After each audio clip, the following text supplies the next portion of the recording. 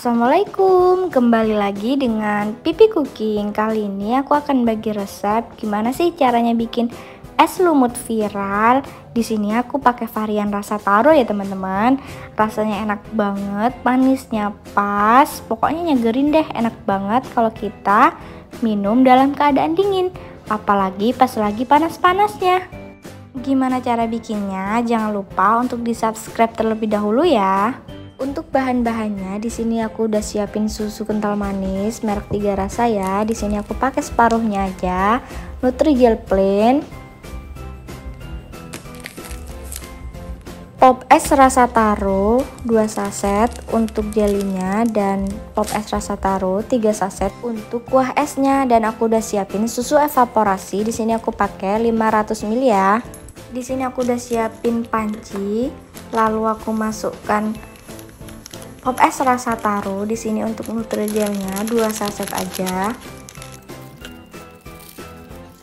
Lalu aku masukkan nutrigelnya di sini aku pakai yang 15 gram ya. Kemudian aku tambahkan gula pasir kurang lebih 2 sendok makan, 1 sendok makan munjung dan 1 makan sendok biasa. Setelah itu aku tambahkan air 800 ml ya. 500 ml pertama dan 300 ml selanjutnya. Setelah itu baru deh aku aduk hingga semuanya tercampur merata. Lalu ku masak hingga mendidih. Jangan lupa nyalakan api kompornya ya. Di sini aku aduk-aduk hingga mendidih. Agar warnanya lebih cantik, di sini aku tambahkan pewarna ya. Aku pakai warna ungu agar serasi dengan rasanya yaitu taro.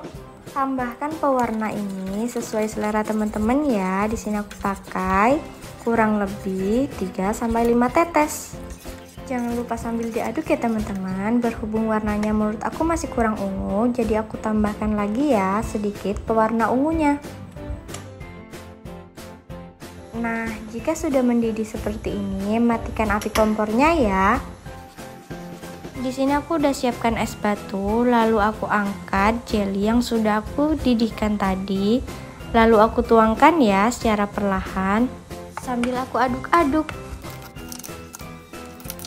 Aku aduk-aduk hingga jelinya hancur seperti ini ya teman-teman. Nah, jika sudah, baru aku tambahkan dengan susu kental manis. Di sini aku pakai kurang lebih 250 gram atau separuhnya dari susu kental manis kaleng merek tiga rasa yang 500 gram. Selanjutnya aku akan didihkan terlebih dahulu. Pop es rasa taro 3 saset aku masukkan terlebih dahulu ke dalam panci. Lalu aku tambahkan air 300 ml lalu aku aduk ya teman-teman. Setelah itu aku nyalakan api kompornya dan masak hingga mendidih Nah ini sudah mendidih, aku matikan api kompornya. Selanjutnya pop es rasa taro yang sudah tadi aku didihkan aku masukkan ke dalam esnya ya teman-teman.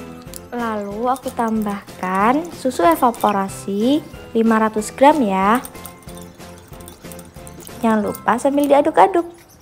Duh ini rasanya bener-bener enak, manisnya juga pas.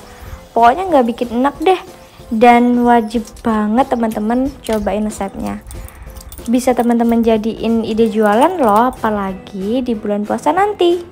Nah di sini aku masukkan ke dalam botol ukuran 200 ml ya teman-teman. Aku masukkan satu persatu. Nah kalau teman-teman mau jual dari resep yang aku punya ini bisa jadi kurang lebih 10 botol ukuran 200 ml ya berhubung aku punya 8 botol aja jadi aku pakai 8 botol aja. Pokoknya ini resep enak banget deh manisnya pas. Wajib cobain resepnya ya. Tada jadi deh. Uh, untuk sisanya aku taruh dalam gelas ya. Di sini aku hanya punya 8 botol. Nah biar makin menarik di sini aku tambahkan dengan stiker